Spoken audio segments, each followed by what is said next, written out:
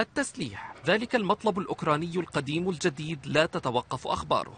رئيس الوزراء السلوفاكي إدوارد هيجر يؤكد أن بلاده ستدعم أوكرانيا عسكريا استجابة لطلب مساعدة قدمته الأخيرة لتمكينها من ممارسة الدفاع المشروع عن النفس. أستطيع أن أؤكد أن سلوفاكيا تبرعت بنظام الدفاع الجوي إس 300 لأوكرانيا. أعتقد أن نظام الدفاع هذا سيساعد في إنقاذ أكبر عدد ممكن من الأرواح البريئة. يرد الرئيس الأوكراني جميل جيرانه فيشكر سلوفاكيا على تجاوزها دائرة التصريحات إلى الدعم الفعلي بالسلاح. مسألة العقوبات التي ناقشناها هي مسألة سلاح دبلوماسي للاتحاد الأوروبي ضد عدوان أي دولة.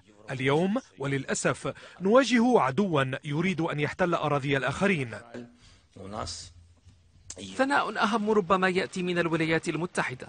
يشيد رئيسها جو بايدن بقرار سلوفاكيا ويعد وزير الدفاع الأمريكي لويد أوستن بنصب وتشغيل صواريخ باتريوت فيها خلال أيام قليلة. لكن هناك من واشنطن ما هو أكثر؟ 44 عضوا في مجلس النواب الأمريكي يطالبون بايدن بتزويد أوكرانيا بطائرات مسيرة متطورة مشابهة لبيرقدار تي بي 2 التركية. أما بريطانيا فتتجاوز مرحلة المطالبة. يعلن رئيس وزرائها بوريس جونسون المتوعد بفعل كل ما في وسعه لكبح الآلة الحربية الروسية. يعلن تعزيز المساعدة العسكرية لأوكرانيا عبر إرسال مزيد من صواريخ ستار ستريك المضادة للطائرات و800 صاروخ مضاد للدبابات. هاجس الأمن والدفاع مهيمن في أوروبا. وزراء دفاع تركيا وبريطانيا وإيطاليا يبحثون في اسطنبول العلاقات الخاصة بهذا الملف ويتبادلون وجهات النظر بشأن التعاون في الصناعات الدفاعية والتدريب العسكري.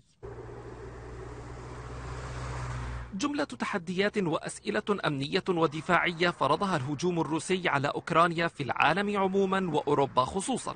وكأن هذه الأخيرة كانت في سبات أيقظتها الحرب منه بعدما ظن كثيرون أن لغة التهديد وسيف العقوبات كفيلان بحفظ أمن الدول وردع غزو إحداها للأخرى.